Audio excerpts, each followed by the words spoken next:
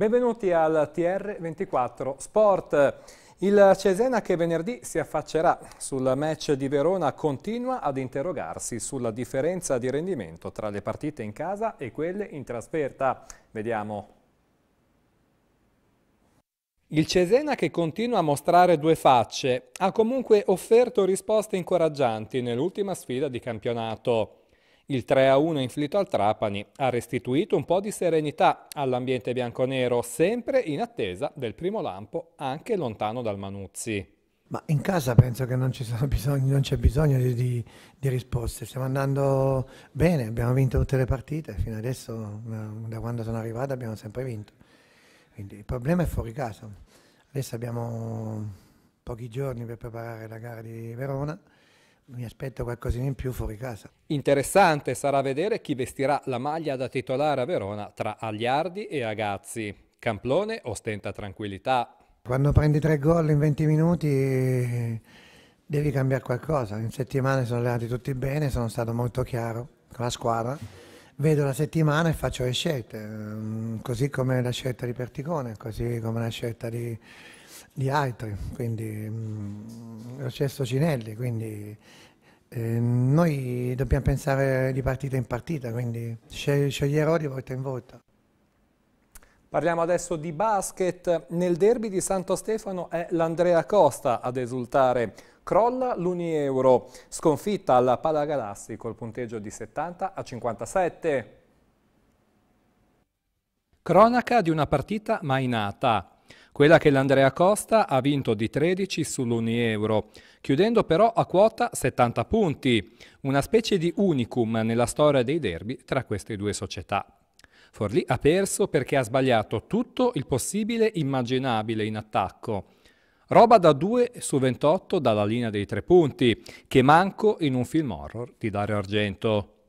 Imola ha così semplicemente amministrato un match in cui i ragazzi di Garelli si sono via via accartocciati su se stessi, traditi dalle condizioni fisiche precarie di un Wayne Blackshire ormai ai saluti, ma anche dalla prova opaca di tutti i biancorossi scesi in campo, escluso Crockett, doppia doppia da 18 e 13, l'unico a salvare la faccia davanti alle telecamere di Sky. Ben altra solidità ha mostrato l'Andrea Costa, i cui califfi non hanno mai tradito, da Prato a Ranuzzi, da Maggioli allo stesso Ubalek. I molesi che adesso navigano in acque tranquille nella classifica di A2, a quota 12 punti, a più 4 su una Forlì, ormai precipitata nel pozzo di una crisi di cui non si vede il fondo. E nel turbolento post partita Gigi Garelli ha affermato a viva voce la sua volontà di rimanere alla guida dell'Unieuro. Vediamo.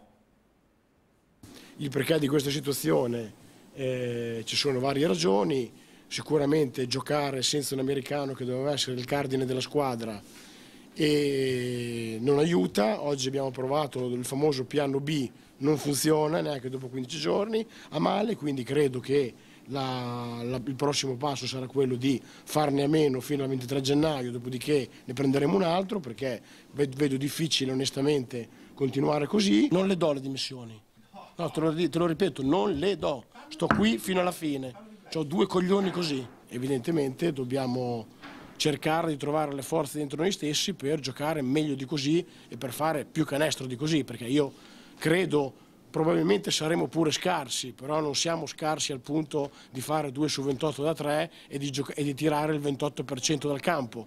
Contro qualsiasi difesa di questo campionato noi per quanto possiamo essere scarsi non possiamo tirare con queste percentuali. Quindi vuol dire che c'è qualcosa a livello psicologico che ci frena. Più che soddisfatto invece il coach dell'Andrea Costa Imola, Giampiero Ticchi. Sentiamo allora le sue parole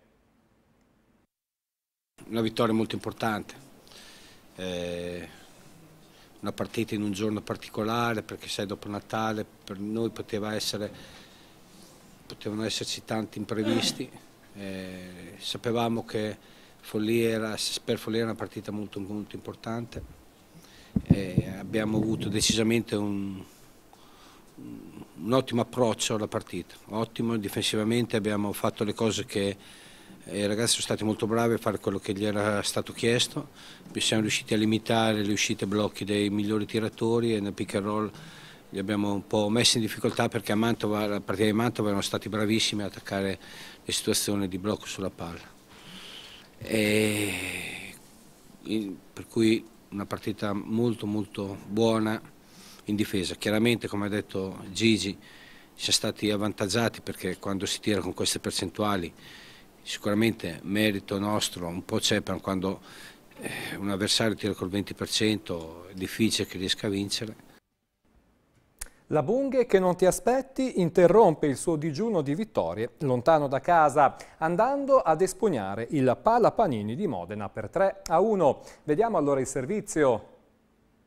Il regalo più bello la Bunghe Ravenna se lo è fatto a Santo Stefano. Ieri i ragazzi di coach Fabio Soli hanno espugnato il difficilissimo campo di Modena col punteggio di 3 a 1, gara valida per la sedicesima giornata di campionato. Nella terza trasferta consecutiva in appena 12 giorni i romagnoli sono tornati alla vittoria lontano dal Pala di André dopo quasi due mesi, infrangendo il tabù trasferta che perdurava dal viaggio di Molfetta. Al Pala Panini, tutto esaurito e riempito in ogni ordine di posto nei suoi 4 4.600 seggiolini, l'uomo partita per i giallorossi è stato Van Garderen. Ottime prestazioni che hanno sfiorato la perfezione sono state realizzate anche dai compagni Spirito, Torres con 4 ace, Goi, Marchini, Bossi, Linell e Ricci con tre muri vincenti. La Bunghe passa in vantaggio al primo set 23-25, poi i campioni d'Italia riequilibrano il match sull'1-1, ma alla fine arriva la vittoria con i parziali 22-25 e 20-25 che mettono KO i padroni di casa.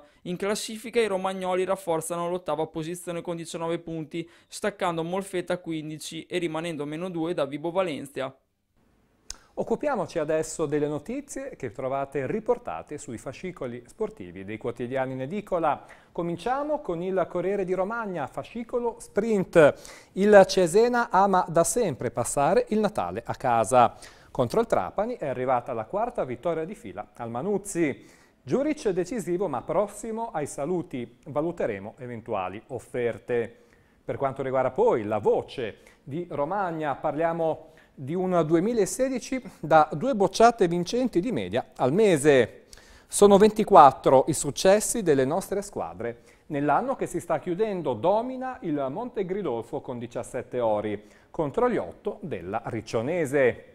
Chiudiamo con il resto del Carlino. Balo torna azzurro. Questa l'intervista realizzata a Carlo Tavecchio. Il presidente federale parla del prossimo futuro. Spero che Mario rientri presto e che sia accettato. Faremo Serie A e Serie B a 18 squadre. Con la Juve cerco una pace tranquilla. Tutti dovrebbero imitare i bianconeri e il Milan. Ma andiamo adesso a sentire l'opinione di Luciano Poggi.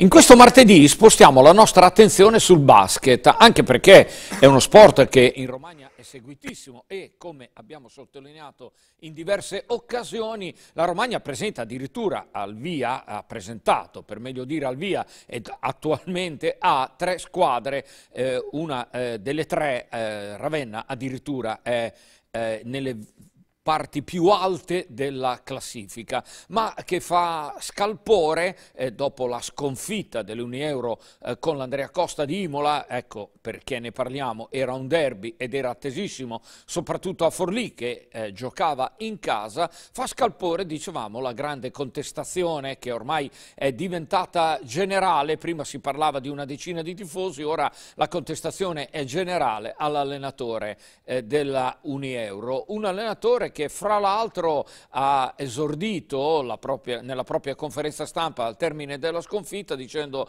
la prima cosa che sappiate è che io non mi dimetto. E allora ecco che accade quello che non dovrebbe mai accadere quando si parla di sport, la rottura totale tra i tifosi e l'allenatore della squadra. Si dice e si usa dire, soprattutto nel calcio, che a pagare è sempre l'allenatore, ma quando l'allenatore dimostra di non essere assolutamente all'altezza, deve assolutamente pagare. E con questo è davvero tutto per, per, quanto riguarda questa edizione del TG Sport. Vi ringrazio per la cortese attenzione, arrivederci.